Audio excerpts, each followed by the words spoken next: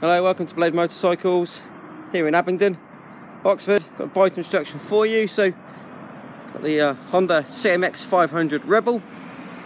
This is ex demonstrator bike. It's a really smart, stylish looking retro bike. It's got a low ride height, so seat height is low, so it's easy to get on and ride. Forward peg, so a nice comfortable riding position.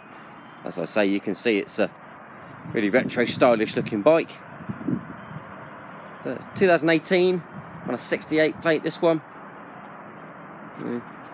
Key goes in the side of the bike here. Like that. Start it up and then 888 miles.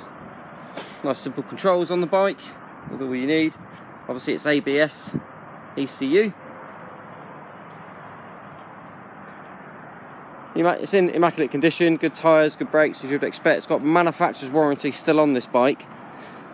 That's going to run until 2020, around September 2020, but we do offer extended warranty packages.